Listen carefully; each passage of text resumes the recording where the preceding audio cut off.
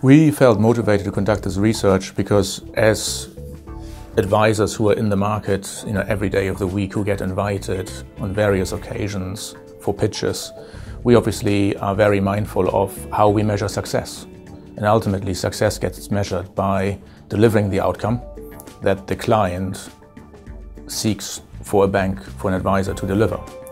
So, what is the best way to measure success? Um, the easiest way in, in the first place to measure success is actually has the transaction come to fruition?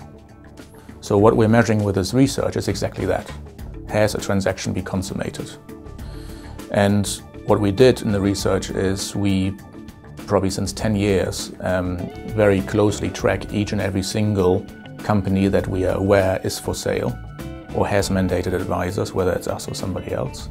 And we then, after four or six months, if, if it has gone very quiet, and we haven't seen a deal announcement, and typically it takes four to six months for the transaction to come to normal fruition, we then just put a little alert on uh, and say, well, what, what actually happened here? Has, is it delayed? Is there any reason why there hasn't been an announcement yet? Have we missed something? Has something been quietly announced? So we then always check and then take off the list things that have been announced and keep on the list what has not been announced. And the list has consistently gotten longer and longer and longer which then allowed us on a source data basis to actually come up with the percentages of failure.